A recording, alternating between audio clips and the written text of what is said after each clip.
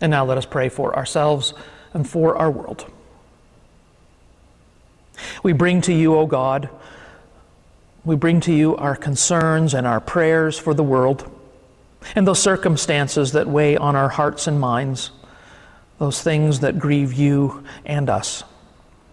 We remember before you the loneliness of captives and prisoners and refugees, the grief of those who have experienced loss, the needs of strangers and the lonely, the frustration of the weak, and the pain of those who suffer.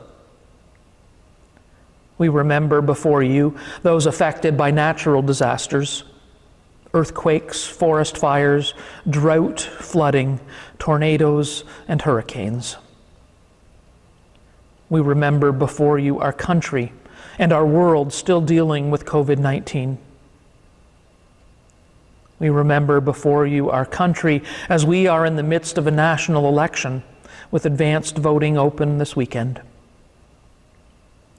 We remember before you students of all ages and their families, teachers and staff, bus drivers and crossing guards as the first week of school ends. We remember before you those who have reasons to celebrate and to give thanks this day. Bless those who are excited because they are newly in love, those who are proud of their children and their grandchildren, those who are relieved because of good news and at peace because they have discovered new insights.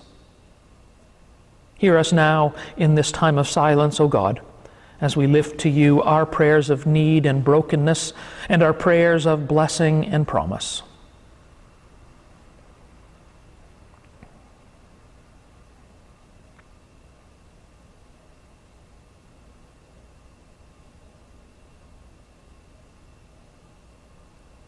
O Lord, where there is hatred, let us work for love. Where there is doubt, let us encourage trust. Where there is despair, let us be bearers of peace. And where there is sadness, let us help bring healing. Help us to live into the name that we have chosen for ourselves Christian, a follower of Christ. And hear us now as we pray as Jesus taught Our Father, who art in heaven, hallowed be thy name.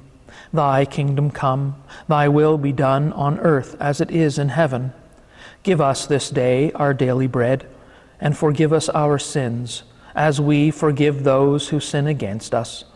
And lead us not into temptation, but deliver us from evil. For thine is the kingdom, the power, and the glory, for ever and ever. Amen. Our closing hymn, 374, Oh, for a thousand tongues to sing.